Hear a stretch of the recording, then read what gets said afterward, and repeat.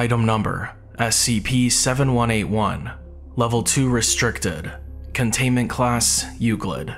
Disruption Class Dark. Risk Class Caution. Special Containment Procedures. Due to the nature of SCP-7181's manifestations and its targeted demographic, physical containment measures are not feasible. Instead, containment efforts should focus on monitoring and tracking potential instances of SCP-7181, as well as ensuring information regarding its anomalous properties is properly controlled and restricted. The lead research team is to investigate reports of SCP-7181 manifestations. The team should respond to any potential instances of SCP-7181, secure the area, and conduct interviews with affected individuals, their families, and medical professionals involved. Amnestics should be administered as necessary to maintain the secrecy of SCP-7181.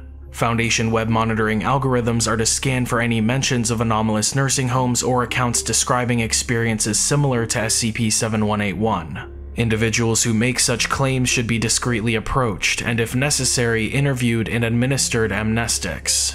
Description SCP-7181 refers to a small plot of land measuring approximately 5,000 square meters situated within Kansas City, Missouri. The exact location varies and has been observed to manifest in different areas within the city's limits. SCP-7181 typically appears as an unremarkable building resembling a nursing home, which can only be perceived and interacted with by individuals in the late stages of terminal illness with a prognosis of imminent death. Once an individual within proximity of SCP-7181 meets the specified criteria, they will perceive the structure as a hospice or nursing home facility.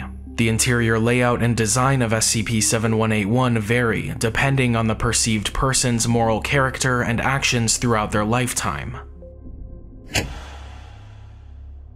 SCP-7181-1 designates the anomalous phenomena observed within instances of SCP-7181. SCP-7181-1 encompasses the distinctive interior characteristics and psychological influences present within SCP-7181, serving to establish a sanctuary-like environment for individuals nearing the end of their lives. The interior architecture of SCP-7181-1 is subject to personalized customization, meticulously tailored to the preferences, memories, and emotional well-being of each individual inhabitant. The walls are adorned with artwork specifically chosen to align with the person's personal interests and aesthetic preferences. The artwork exhibits dynamic properties, utilizing perceptual manipulation to create an immersive and ever-evolving atmosphere. A salient feature of SCP-7181-1 is the repeatedly playing lullaby-like music emitted from strategically placed speakers throughout the premises. This auditory stimulus induces a profound psychological effect on the occupants, inducing a perpetual state of relaxation and comfort. Central to the experiential framework of SCP-7181-1 is an extensive collection of bookshelves distributed throughout the facility.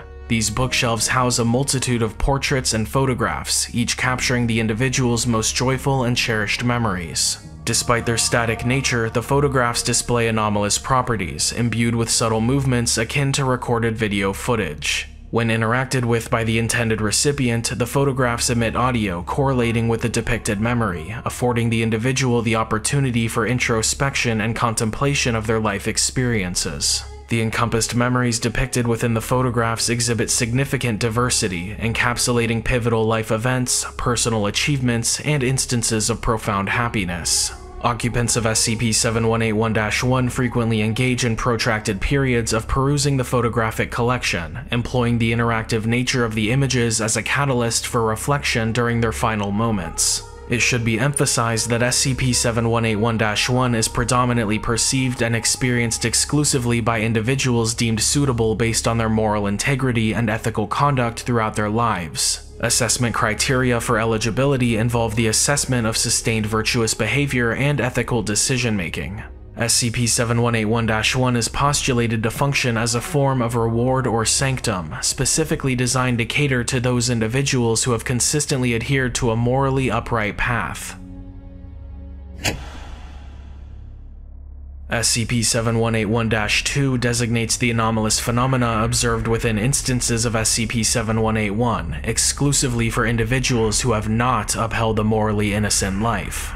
Access to SCP-7181-2 is granted to these individuals upon entering SCP-7181. The architectural configuration and anomalous characteristics of SCP-7181-2 are tailored to evoke pronounced psychological distress, encompassing a range of fear, agitation, and paranoia. Upon entry into SCP-7181-2, the interior surfaces are adorned with a diverse array of artistic expressions, deliberately selected to embody the subject's personal antipathies and anxieties. These artistic renderings are intricately designed to exploit and augment the individual's underlying insecurities, intensifying their psychological torment. The thematic contents of the artwork are meticulously tailored to the specific individual, considering their personal aversions and past traumas. Furthermore, SCP-7181-2's internal space incorporates concealed sound-emitting devices that produce a low-frequency auditory signal, surpassing the audible range of human perception.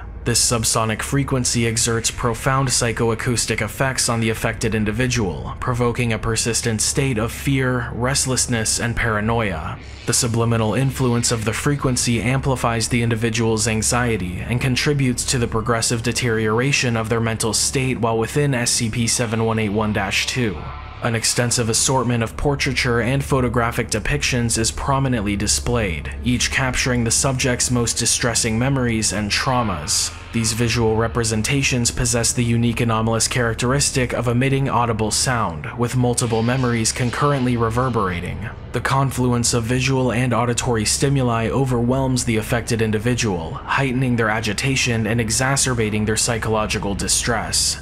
Over time, the affected individual undergoes a perceptual transformation within SCP-7181-2. They develop delusions, wherein the memories encapsulated in the depicted photographs manifest physically, initiating an apparent pursuit of the individual. This illusionary conviction elicits an intense fear response, compelling the individual to engage in evasive actions. However, SCP-7181-2 undergoes continual spatial reconfiguration, generating an environment characterized by labyrinthine dynamics, effectively impeding all attempts at escape. Ultimately, the psychological and physiological well-being of the affected individual progressively declines, culminating in either fatal cardiac arrest or loss of consciousness. Typically, the subject's lifeless remains are discovered in close proximity to SCP-7181, frequently in locations offering relative accessibility while maintaining a proximity to the initial encounter with the anomaly. It is imperative to underscore that the manifestation of SCP-7181-2's anomalous attributes appears to selectively target morally compromised individuals or those significantly implicated in grievous transgressions throughout their lifetime.